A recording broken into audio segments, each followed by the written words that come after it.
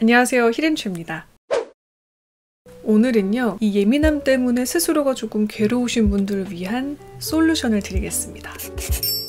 첫 번째 솔루션입니다. 이 민감함을 즐기시면 됩니다. 그러니까 우리의 민감함을 역으로 극대화시켜서 더 행복할 수 있는 활동들을 하시면 됩니다. 예시를 들어드릴게요. 마음에 드는 게 있다면 한번 골라보세요. 자연을 즐긴다. 창조적인 일에 몰두한다. 조용히 앉아서 사색한다. 몸에 유익한 활동을 한다. 이건 뭐 달리기나 춤추기, 뭐 마사지 같은 것들을 포함합니다. 감각을 즐겁게 한다. 이런 감각은요, 우리가 맛있는 음식을 먹는 혀 끝의 감각, 향기가 좋은 꽃을 사는 것. 아, 그리고 또 이거 있죠. 나라에서 허락한 유일한 마야, 마야, 마야, 마야, 마야, 마야. 또 다른 활동으로는 동물과 함께 한다가 있습니다. 고양이 나만 없어. 그래서 오늘 고양이 친구는 지난번보다 조금 더 앞에 가까이 앉혀봤어요. 일기나 시, 책을 쓴다. 예술 작품을 감상한다. 역시 뭐니 뭐니 해도 최고는 신이 만든 예술. 인간이죠. 덕질하시는 것도 포함이 됩니다. 사람들과 만나며 의미 있는 시간을 보낸다. 이런 행동을 하면서 재충전의 시간을 갖는 겁니다. 두 번째 솔루션입니다. 나의 한계를 인정하자. 이거는 좀 쉬운 듯 쉽지 않을 수도 있는데요. 그냥 내 한계를 인정하고 받아들이라는 겁니다. 우리 예민이들, 남에게 피해주는 걸 싫어해서 상대방에 맞춰주느라 나의 상황을 어필하지 못하는 경우 종종 있습니다. 예를 들어서 친구랑 오랜만에 만났는데 사실 내가 조금 오늘 피곤한 상황이었다면 친구가 이 차를 가자고 하는 거예요. 그럴 때 친구에게 꼭 이야기를 하셔야 됩니다.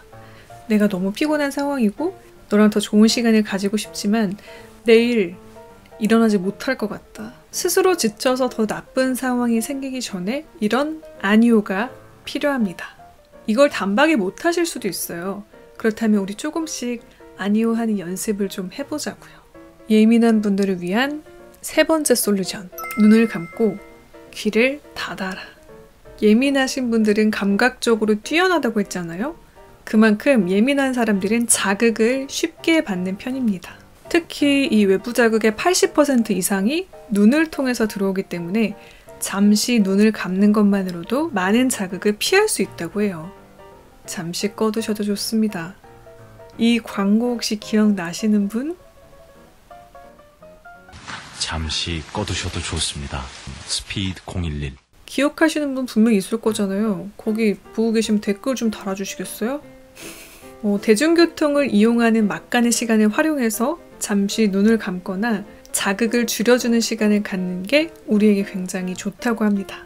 아, 그리고 귀마개나 헤드폰을 사용하는 방법도 있는데요. 우리 또 예민하신 분들은 이 헤드폰 소리가 조금 너무 커서 공공장소에서 새어나갈까봐 걱정하실 수도 있는데, 이럴 땐 소음 차단 헤드폰을 구매하세요. 이런 소음들이 나도 모르게 굉장히 큰 영향을 내 신경에 미치고 있다는 겁니다.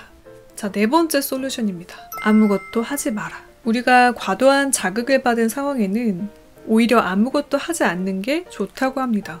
심지어 이런 상황에서 바로 잠에 드는 것도 숙면에 방해가 된다고 해요. 우리 하루 종일 너무 많은 걸 하면서 살고 있잖아요. 저만 해도 길 걸으면서 휴대폰으로 음악 듣고, 음악 들으면서 또 뉴스 기사 검색하고, 멀티플레이어로 살아가고 있는데, 이게 우리 몸과 신경에는 그닥 좋지 않다는 겁니다. 우리들 모르는 사이에 굉장히 불안해질 수 있거든요. 꼭 고급진 명상이 아니어도 좋습니다. 멍 때리기도 이에 해당하죠. 멍 때리기. 다섯 번째 솔루션입니다. 기분 좋은 스킨십. 타이틀만 보고 오해하시면 안 됩니다. 이 스킨십은요, 우리 자신을 향한 스킨십입니다. 호흡을 조절하는 운동이나 발 마사지, 혹은 족욕 같은 뭔가 이런 나의 신체의 접촉들이요, 불안함과 과도한 자극을 줄여주는데 굉장히 큰 효과가 있다고 해요. 그리고 또 예민하신 분들이 대체로 물을 좋아한다고 합니다. 물가를 거닐거나 수영을 하거나 물을 마시거나 잠깐 물 좀 마실게요. 뭐 이런 물과 가까운 행동도 우리에게 굉장히 도움이 된대요. 자, 여섯 번째 솔루션입니다. 생각의 고리를 끊어버리세요. 특히 부정적인 생각 자꾸 하시게 되는 분들 주목해주세요. 이분들께 좋은 솔루션 몇 개 추천드립니다. 아, 또 이런 생각을 하네? 라고 생각을 멈춰보시고요. 그리고 저는 개인적으로 이 방법도 추천드립니다. 정말 일어나지 않은 나의 일에 대해서 자꾸 자기 전에 부정적인 가정들이 꼬리, 꼬리를 물 때가 분명히 있을 수 있어요. 그래서 수능 망치면 어떡하지? 내가 원하는 대학에 가지 못하면 어떻게 되는 거지?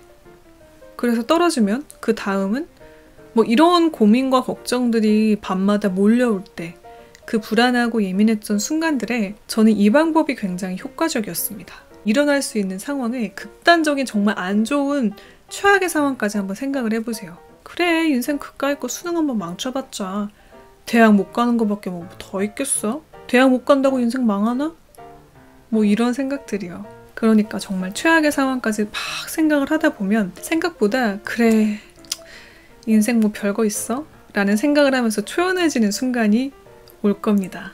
혹은 저는요 너무 간절한 일이라 그런 가정을 하는 것도 도움이 안 돼요 하시는 분들 그럴 때는 또 다른 저의 솔루션을 드립니다. 스카이캐슬을 보세요. 가 아니라 생존을 위해서 굉장히 치열하게 고군분투 중인 주인공이 나오는 영화나 드라마를 보시면 도움이 됩니다. 세상에 종말하는 영화를 보잖아요. 일단 첫 번째로 나의 고민과 생각들이 있게 되고요.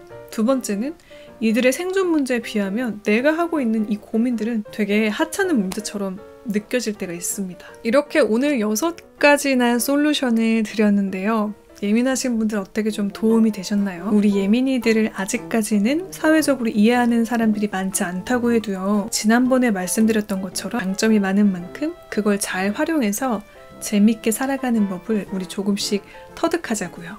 우아하게 전하는 우아한 인생 꿀팁. 다음 이 시간에도 가지고 돌아오겠습니다. 지금까지 그렇다고 합니다. 히렌치였습니다. 혹시 예민이들의 장점에 대한 영상 아직 못 보신 분이 있다면 여기 구독 버튼 부탁드립니다. 그리고 여러분들이 달아주시는 이 댓글과 좋아요가 저에게는 굉장히 큰 힘이 되거든요.